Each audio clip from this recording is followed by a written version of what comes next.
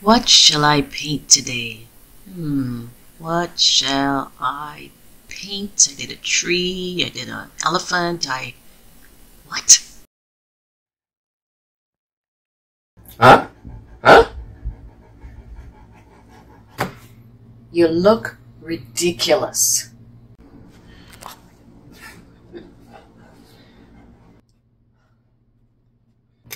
I'll paint a lion.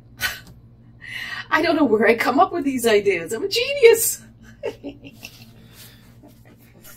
I tell you, inspiration just strikes like lightning, comes out of nowhere. Welcome to Art and the Word. One of the titles Jesus is known for, or is known as, is the Lion of Judah, partly because in the Old Testament, as Jacob or Israel lay on his deathbed, he gave a blessing to each of his twelve sons. Each of Jacob's twelve sons would go on to lead the twelve tribes of Israel. When it came time to bless Judah, his fourth son, he gave a special blessing. Jacob said, You are a lion's cub, Judah. You return from the prey, my son. Like a lion, he crouches and lies down. Like a lioness, who dares to rouse him? The lion is commonly known as king of the beasts and is a symbol of strength, power, and nobility. The lion is used as a symbol over 150 times throughout the Bible. Jacob stating that Judah was like a lion pointed to the outstanding character with which Judah had led his life, as well as a prophecy of how important the tribe of Judah would become in leading the other tribes. In Judaism, the Lion of Judah is also a symbol of the entire house of David, who was a descendant of Judah and became king of Israel. And now, the lion has also become a symbol for Jesus, who was a descendant of David and Judah.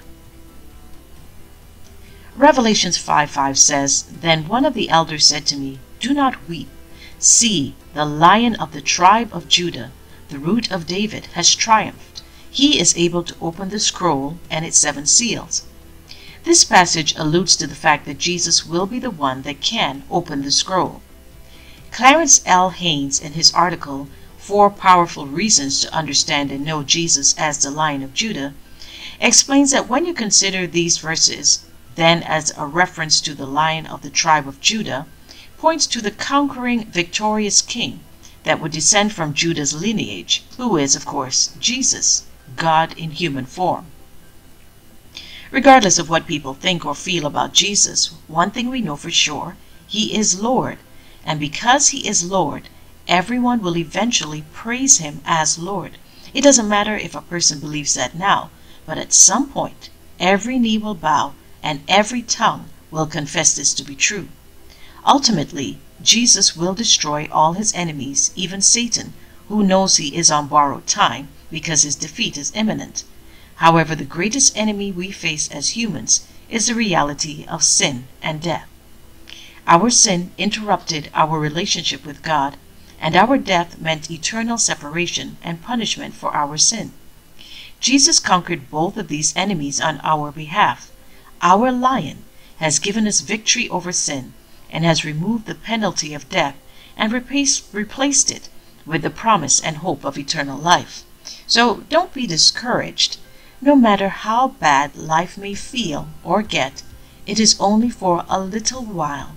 Your lion is coming soon, and he will reign forever.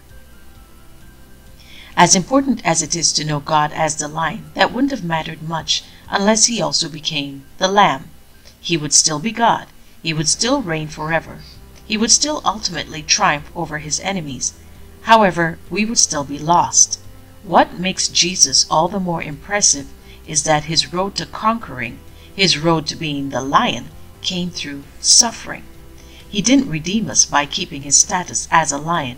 He redeemed us by becoming humble as a lamb. The precious blood he spilled purchased our salvation, forgave our sins, and allowed us to triumph.